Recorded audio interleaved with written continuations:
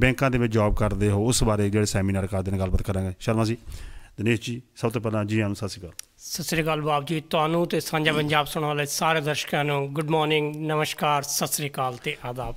ਅੱਜ ਬਹੁਤ ਵਧੀਆ ਇੱਕ ਤਿਉਹਾਰ ਵੀ ਹੈ ਬਿਲਕੁਲ ਜੀ, ਦੁਸਹਿਰੇ ਦਾ ਦਾ ਦੀ। ਮੁਬਾਰਕਾਂ ਤੁਹਾਨੂੰ ਬਹੁਤ ਬਹੁਤ। ਤੁਹਾਨੂੰ ਵੀ ਮੁਬਾਰਕਾਂ ਜੀ। ਉਹ ਕਹਿੰਦਾ ਜੀ ਦੇ- ਮੈਂ ਸਵੇਰੇ ਹੀ ਕਿਸੇ ਨੂੰ ਕਹਿ ਰਿਹਾ ਸੀ ਦੁਸ਼ਹਿਰਾ ਦਾ ਜਿਹੜਾ ਪਰਵ ਹੈ ਸਾਰੇ ਇੰਡੀਆ ਦੇ ਵਿੱਚ ਮਨਾਇਆ ਜਾਂਦਾ ਤੇ ਉਹਦੇ ਸਭ ਨਾਲ ਵੱਡੀ ਖਾਸੀਅਤ ਕੀ ਹੈ? ਉਹ ਕਹਿੰਦੇ ਜੀ ਸੱਚਾਈ ਦੀ ਝੂਠ ਦੇ ਉੱਤੇ ਜਾਂ. ਬੁਰਾਈ ਦੇ ਉੱਤੇ ਜੀਤ ਦਾ ਉਹ ਤਿਉਹਾਰ ਹੈ ਨੇਕੀ ਤੇ ਬਦੀ ਦੀ ਜਿੱਤ ਹਾਂਜੀ ਹਾਂਜੀ। ਤੇ ਇਸ ਕਰਕੇ ਹਮੇਸ਼ਾ ਸੱਚੇ ਬਣ ਕੇ ਰਹੋ ਜੋ ਵੀ ਕੰਮ ਕਰੋ ਸੱਚੇ ਦਿਲ ਨਾਲ ਕਰੋ ਤੇ ਉੱਪਰ ਵਾਲਾ ਰੱਬ ਵਾਹਿਗੁਰੂ ਕਹਿ ਲੋ ਰੱਬ ਕਹਿ ਲੋ ਜੋ ਕਹਿ ਲੋ ਜਿਹਨੂੰ ਵੀ ਕਹਿ ਲੋ ਹਮੇਸ਼ਾ ਤੁਹਾਡਾ ਸਾਥ ਇਹ ਕਿਹੜੇ ਕਿਹੜੇ ਵੈਬ ਸੈਮੀਨਾਰ ਆਉਣਾ ਦਿਨਾਂ ਚ ਹੋਣ ਜਾ ਰਹੇ ਨੇ? ਫਿਰ ਅੱਗੇ ਜਾ ਕੇ ਕੁਝ ਹੋਰ ਗੱਲਬਾਤ ਕਰਾਂਗੇ। ਹਾਂਜੀ।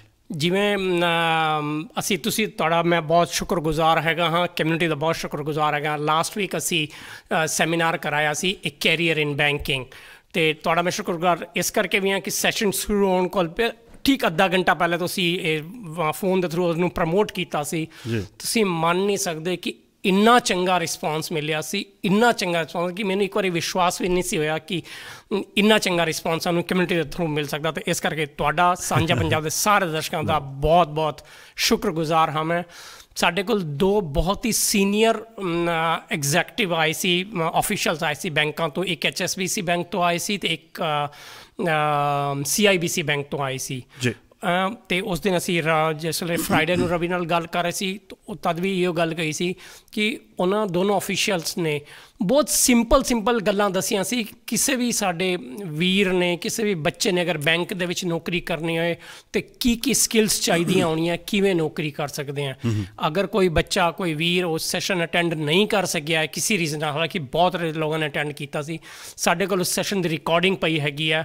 ਸਾਨੂੰ ਕਹੋਗੇ ਤਾਂ ਅਸੀਂ ਉਹ ਰਿਕਾਰਡਿੰਗ ਸ਼ੇਅਰ ਕਰ ਦਿਆਂਗੇ। ਓਕੇ ਕਿਉਂਕਿ ਓਪਰਚੁਨਿਟੀ ਕਈ ਵਾਰੀ ਹਰ ਇੱਕ ਵਿਅਕਤੀ ਨੂੰ ਮਿਲਦੀ ਹੈ ਕਿ। ਸਹੀ ਜਗ੍ਹਾ ਤੇ ਸਹੀ ਟਾਈਮ ਤੇ ਜਿਹੜਾ ਵਿਅਕਤੀ ਜੁਆਇਨ ਕਰ ਜਾਂਦਾ ਬਿਲਕੁਲ ਸਹੀ ਤਾਂ ਹੀ ਇਜ਼ ਦਾ ਵਿਨਰ ਬਿਲਕੁਲ ਸਹੀ ਗੱਲ ਕਹਿੰਦੇ ਹੋ।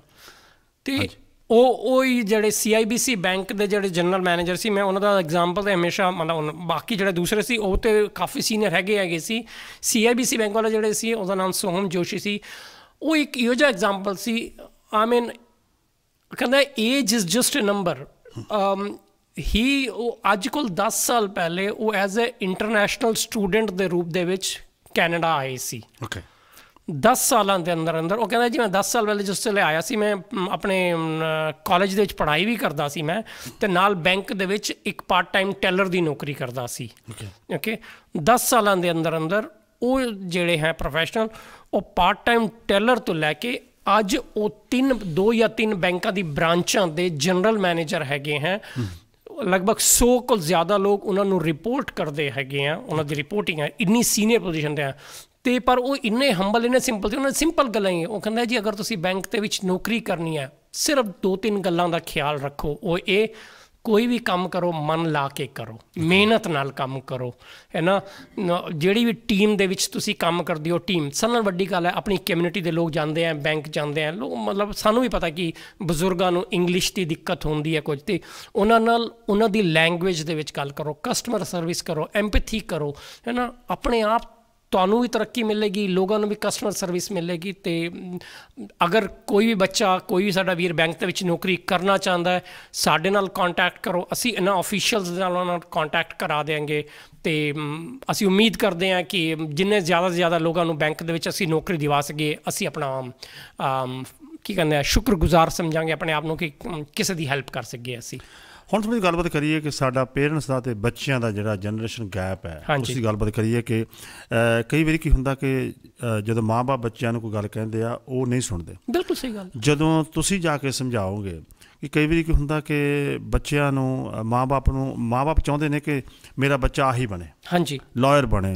ਅਕਾਊਂਟੈਂਟ ਬਣੇ। ਬੱਚਾ ਕੁਝ ਹੋਰ ਕਰਨਾ ਚਾਹੁੰਦਾ ਬਿਲਕੁਲ ਸਹੀ ਗੱਲ ਹੈ ਮੈਨੂੰ ਇਹ ਵੀ ਆ ਪਤਾ ਕਿ ਬਹੁਤ ਸਾਰੇ ਪੜ੍ਹੇ ਲਿਖੇ ਮਾਂ-ਬਾਪ ਦੇ ਬੱਚੇ ਜਿਹੜੇ ਉਹ ਕਾਰ ਮਕੈਨਿਕ ਬਣੇ ਨੇ। ਕੋਈ ਕੁਝ ਬਣੇ ਨੇ ਹਾਂਜੀ ਪਰ ਉਹਨਾਂ ਮਾਂ-ਬਾਪ ਦੀ ਤੁਸੀਂ ਕਿੱਦਾਂ ਜਾ ਕੇ ਹੈਲਪ ਕਰਦੇ ਹੋ? ਜਿਨ੍ਹਾਂ ਦੇ ਬੱਚੇ ਸਾਰਾ ਦਿਨ ਟੀਵੀ ਦੇਖੀ ਜਾਂਦੇ ਆ ਫੋਨ ਤੇ ਲੱਗੇ ਰਹਿੰਦੇ ਕੋਈ ਕੰਮ ਨਹੀਂ ਕਰਦੇ ਕੀ ਕਹਿਣਾ ਚਾਹੁੰਦੇ ਤੇ ਮੈਂ ਦੋ ਗੱਲਾਂ ਕਹਿਣਾ ਚਾਹਾਂਗਾ। ਦੋ ਅਲੱਗ-ਅਲੱਗ ਟੌਪਿਕ ਹੈਗੇ ਆ ਇਸ ਉੱਤੇ ਇੱਕ ਟੌਪਿਕ ਹੈ ਕਿ ਇੱਕ ਮਾਪੇ ਚਾਹੁੰਦੇ ਆ ਕਿ ਬੱਚੇ ਇਹ ਕੰਮ ਕਰਨ ਬੱਚੇ ਉਹਨਾਂ ਦੀ ਸੁਣ ਨਹੀਂ ਰਹੇ ਆ ਉਹ ਥੋੜਾ ਜਿਹਾ ਮਾਪੇ ਤੇ ਬੱਚਿਆਂ ਦੇ ਵਿੱਚ ਨਾ ਡਿਸਕਨੈਕਟ ਜਿਹਨੂੰ ਕਹਿ ਦਿੰਦੇ ਹੋ ਕਿ ਉਹ ਹੈਗਾ ਰਿਲੇਸ਼ਨਸ਼ਿਪ ਇਸ਼ੂਜ਼ ਜਿਹਨੂੰ ਕਹਿੰਦਾ ਤੇ ਅ, ਮੈਂ ਮਾਪੇ ਨੂੰ ਵੀ ਇਹੋ ਗੱਲ ਕਹਿਣਾ ਬੱਚਿਆਂ ਨੂੰ ਵੀ ਇਹ ਗੱਲ ਕਹਿਣਾ ਤੁਹਾਨੂੰ ਅਗਰ ਕੋਈ ਵੀ ਦਿੱਕਤ ਹੋ ਰਹੀ ਹੈ ਸਾਡੇ ਨਾਲ ਕੰਟੈਕਟ ਕਰੋ ਅਸੀਂ ਬੱਚੇ ਦੇ ਨਾਲ ਬੈਠ ਕੇ ਅੰਡਰਸਟੈਂਡ ਕਰਾਂਗੇ ਕਿ ਆਬਵੀਅਸਲੀ ਮੈਂ ਹਮੇਸ਼ਾ ਇਹ ਗੱਲ ਕਹਿਣਾ ਮੇਰਾ ਆਪਣਾ ਬੱਚਾ ਵੀ ਹੈ ਤਾਂ ਤੇ ਬੱਚੇ ਦੇ ਨਾਲ ਬੈਠੋ ਅੰਡਰਸਟੈਂਡ ਕਰੋ ਕਿ ਬੱਚੇ ਦਾ ਕੀ ਪਰਸਪੈਕਟਿਵ ਹੈ। ਮੇਰਾ ਇਹ ਮੰਨਣਾ ਹੈਗਾ ਹੈ ਕਿ ਅੱਜ ਦੀ ਜਿਹੜੀ ਮਤਲਬ ਜਿਹੜੀ ਜਨਰੇਸ਼ਨ ਆ ਰਹੀ ਹੈ ਉਹ ਜਨਰੇਸ਼ਨ ਟੈਕਨੀਕਲੀ ਜਾਂ ਨੌਲੇਜੇਬਲ ਵਾਈਜ਼ ਉਹ ਬਹੁਤ ਸਾਊਂਡ ਹੈਗੀ ਹੈ ਉਹਨੂੰ ਥੋੜੀ ਜੀ ਗਾਈਡੈਂਸ ਦੀ ਜ਼ਰੂਰਤ ਹੁੰਦੀ ਹੈ ਪਰ ਹੁੰਦਾ ਕੀ ਹੈ ਕਿ ਉਹ ਤੁਹਾਨੂੰ ਕਈ ਵਾਰੀ ਬੱਚੇ ਦੇ ਲੈਵਲ ਤੇ ਆ ਕੇ ਬੱਚੇ ਨਾਲ ਗੱਲ ਕਰਨੀ ਪੈਂਦੀ ਹੈ ਬੱਚੇ ਨੂੰ ਸਮਝਣਾ ਪੈਂਦਾ ਕਿ ਬੱਚਾ ਦੱਸ ਕੀ ਚ- ਤੂੰ ਕੀ ਬੰਨਾ ਚਾਹੁੰਦਾ ਹੈ ਕੀ ਤੇਰਾ ਰੀਜ਼ਨ ਹੈ ਕਿਉਂ? ਤੇ ਪੇਰੈਂਟਸ ਐਜ਼ ਏ ਉਹ ਕਹਿੰਦਾ ਨਾ ਉਹਨੂੰ ਇਨਫੋਰਸ ਕਰਦੇ ਆ ਨਹੀਂ ਤੂੰ ਇਹ ਹੀ ਬਣਨਾ ਹੈ।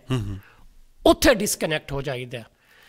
ਕਿਉਂਕਿ ਜਿਹੜਾ ਬੱਚਾ ਅੱਜ ਹੈ ਉਹਨੇ ਵੀ ਕੱਲ ਜਾ ਕੇ ਪੇਰੈਂਟਸ ਬਣਨਾ ਅੱਜ 5 ਸਾਲ ਬਾਅਦ ਜਾਂ 10 ਸਾਲ ਬਾਅਦ ਉਹਨੇ ਪੇਰੈਂਟ ਬਣਨਾ ਹੀ ਬਣਨਾ ਤੇ ਅਗਰ ਅੱਜ ਪੇਰੈਂਟਸ ਦੇ ਨਾਲ ਡਿਸਕਨੈਕਟ ਹੋਏਗਾ ਤੇ ਮੈਂ ਉਸ ਦਿਨ ਵੀ ਇਹ ਗੱਲ ਕਹਿ ਰਿਹਾ ਸੀ ਕਿਸੇ ਨੂੰ ਕਿ ਦੋ ਗੱਲਾਂ ਹੋਣਗੀਆਂ ਜਿਸ ਵੇਲੇ ਪੇਰੈਂਟਸ ਬਣੇਗਾ। ਇੱਕ ਤੇ ਹੋਏਗਾ ਯਾਰ ਮੇਰੇ ਮਾਪੇ ਮੇਰੀ ਸੁਣਦੇ ਨਹੀਂ ਸੀ ਮੈਂ ਆਪਣੇ ਬੱਚੇ ਦੀ ਜ਼ਰੂਰ ਸੁਣਾਂਗਾ। ਇੱਕ ਇਹ ਰੀਜ਼ਨ ਹੋਏਗਾ ਜਾਂ ਇੱਕ ਹੋਏਗਾ ਕਿ ਯਾਰ ਮੇਰੇ ਮਾਪੇ ਮੇਰੇ ਨਹੀਂ ਸੁਣਦੇ ਸੀ ਮੈਂ ਵੀ ਆਪਣੇ ਬੱਚੇ ਦੀ ਨਹੀਂ ਸੁਣਦਾ। ਮੈਂ ਵੀ ਨਹੀਂ ਸੁਣਦਾ। ਵਨ ਵੇ ਅਨਦਰ ਜਾ one way or the other but ਉਹ ਅਸੀਂ ਇਸ ਚੀਜ਼ ਨੂੰ ਅੱਜ ਅਸੀਂ ਅਗਰ ਰੋਕ ਲਈਏ ਸੁਧਾਰ ਲਈਏ ਬੱਚੇ ਦੀ ਸਮਝ ਲਈਏ ਕਿ ਕੀ ਬਣਨਾ ਚਾਹੁੰਦਾ that's one part the second part ਜਿਹੜੇ ਬੱਚੇ ਘਰ ਬੈਠੇ ਆ ਟੀਵੀ ਦੇਖ ਰਹੇ ਆ ਵੀਡੀਓ ਦੇ ਗੇਮ ਦੇਖ ਰਹੇ ਆ ਹੈ ਨਾ ਉਹਨਾਂ ਨੂੰ ਮੈਂ ਇਹੀ ਕਾਲ ਕਾਂ ਕਿ ਅੱਜ ਦੀ ਡੇਟ ਦੇ ਵਿੱਚ ਕੋਵਿਡ 19 ਨੇ ਇੱਕ ਚੀਜ਼ ਜਿਹੜੀ ਬਹੁਤ ਚੰਗੀ ਕੀਤੀ ਹੈ ਉਹ ਇਹ ਕਿ ਇਤਨੇ ਫ੍ਰੀ ਸੈਮੀਨਾਰ ਚੱਲ ਰਹੇ ਆ ਇੰਟਰਨੈਟ ਦੇ ਉੱਤੇ।